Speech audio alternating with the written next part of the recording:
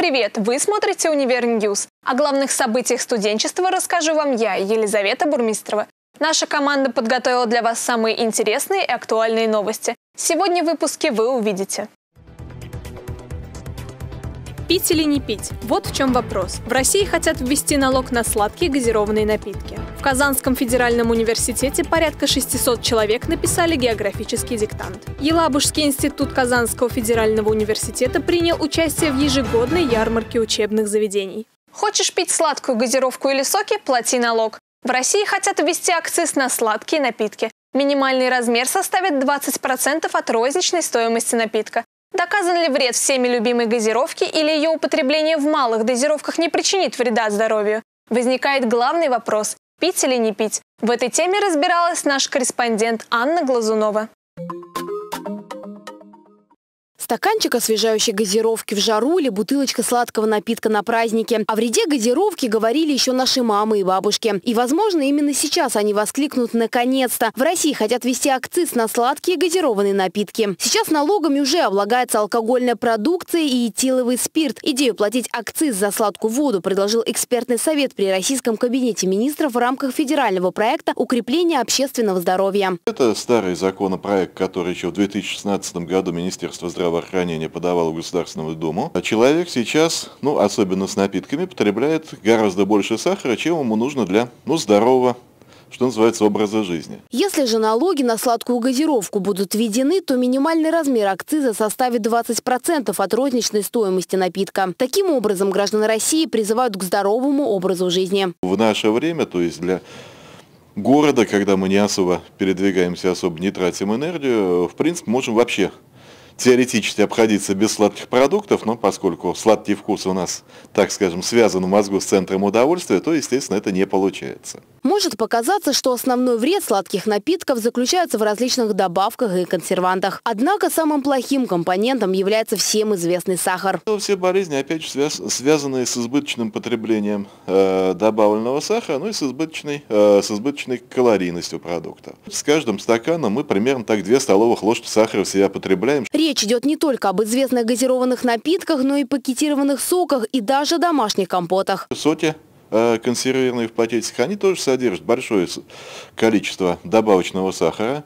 А, можно посмотреть на этикетки содержания сахара в газировке и в соте сравнить, убедиться, что, в общем-то, Иногда в соках даже бывает побольше. Кто-то говорит, да, мы ничего не покупаем, там компоты, соки в магазине, мы сами готовим компоты. Ну, если подумать, сколько мы в обычных компотах закладываем в рецептурах сахара, то получается да, то же самое. Помимо сахара в сладких напитках имеются и различные пищевые добавки, консерванты и красители. Как выяснилось, они добавляются со всеми нормами пищевых технологий. Что же касается остальных компонентов, ну, в которых часто обвиняют, ну, вот эти газированные напитки, что там есть какой-то компонент, который может вызывать э, онкологические заболевания, чтобы его э, получить организму количество достаточное для того, чтобы он подействовал, нужно было, было выпить где-то порядка 60 литров сразу, ну что, естественно, чисто физиологически невозможно. Потребление сладких напитков все же лучше ограничить, советуют диетологи. Но если очень хочется, то можно позволить себе в день небольшой стакан любимого лакомства. Главное помнить о последствиях чрезмерного употребления таких напитков.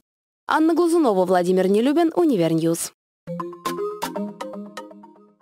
Впервые в стенах Казанского федерального университета провели конкурс на лучший студенческий научный кружок. Победители конкурса и их научные руководители представили работы высокого уровня, которые позволили расширить круг интересов студентов, обучающихся на тех или иных факультетах. О подробностях проведения мероприятия вы узнаете в нашем следующем сюжете.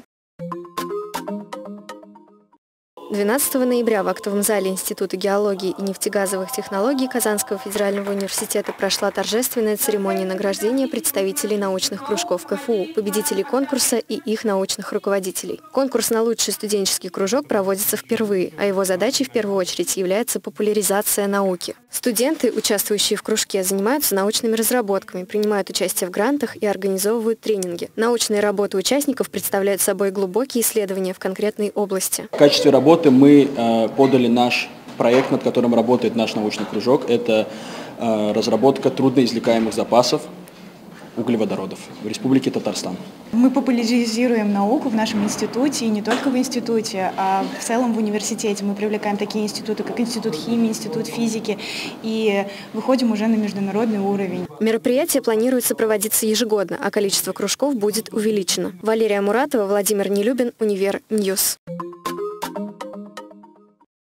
В Институте управления экономики и финансов Казанского федерального университета состоялась образовательная акция «Географический диктант», Проверить свои знания пришли порядка 600 человек. Географический диктант – это масштабная международная просветительская акция. Основной целью является повышение интереса к географии России среди населения.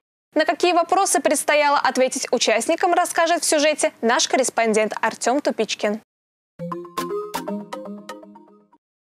В Институте управления экономики и финансов Казанского федерального университета состоялась образовательная акция «Географический диктант». КФУ является центральной площадкой проведения мероприятия. Здесь представители всех возрастов, люди, которым нравится география, нравится географическая наука, нравится краеведение. Они изучают внимательно географию своего родного края, думают о э, природных условиях и ресурсах России, о социально-экономических проблемах, которые сталкиваются различные территории, различные регионы в нашей стране. Основной целью географического диктанта является популяризация географических знаний и повышение интереса географии России среди населения. Географический диктант, который ежегодно проводится Русским географическим обществом, это огромное международное образовательные акции, которые проходят в России, во всех регионах России, и в большом числе зарубежных стран, и в ближнем зарубежье, и дальнем зарубежье, стран Латинской Америки, Европы, Восточной Азии. Диктант проводится Русским географическим обществом в четвертый раз. И четвертый год подряд одна из региональных площадок организуется на базе КФУ. В Республике Татарстан организовано 159 площадок проведения диктанта. Задания диктанта требовали обширных знаний. Участникам предстояло ответить, в каком российском озере не водится нерпа, о какой реке написано в Устюжском летописном своде, как сейчас называется народ, который во времена жизни Александра Пушкина именовался тунгусами и на множество других вопросов. Результаты диктанта послужат для улучшения качества географического образования в стране. Артем Тупичкин, Владимир Нелюбин, Univer News.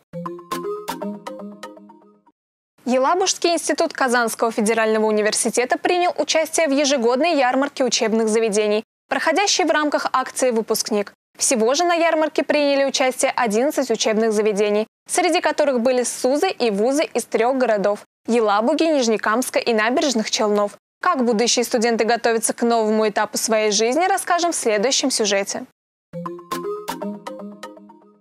Елабужский институт КФУ принял участие в ежегодной ярмарке учебных заведений, проходящей в рамках акции «Выпускник». Каждое учебное заведение подготовило к ярмарке демонстрационную площадку, на которой размещалась информация о программе и условиях обучения. Учебные заведения представляют свои факультеты, показывают свои направления, то есть кого они готовят, по каким профессиям они обучают. Приглашены выпускники, то есть дети, которые выпускаются в этом в следующем году, в 2019 году, 9 11 классов. Елабужский институт КФУ на своей площадке представил инсталляцию, посвященную физиологическому строению человека. Вместе со студентами биологического отделения школьники приняли участие в практическом курсе по анатомии. Живой интерес будущих абитуриентов вызывали и другие направления подготовки института. Мне очень понравилось на выставке, так как здесь рассматриваются разные сферы деятельности, мне очень интересно познать себя изнутри, к чему меня больше тянет. Я до сих пор не определилась с предметом, который я буду сдавать в девятом классе. И вот здесь вот как раз-таки очень хорошо можно понять, к чему тебя больше тянет. Поэтому это очень выгодное мероприятие для меня. Мне очень все сильно понравилось. Здесь все подходит для каждого человека индивидуально. Всего же в ярмарке приняли участие 11 учебных заведений, среди которых вузы и СУЗы из трех городов – Елабуги, Нижнекамска и Набережных Челнов. Ясяна Юпова, Камиля Юрикова, Айдар Нурмиев, Univer News. На этом у меня все. Не забывайте смотреть нас в социальных сетях и не пропускайте свежие эфиры Univer News. До новых встреч! Еще увидимся!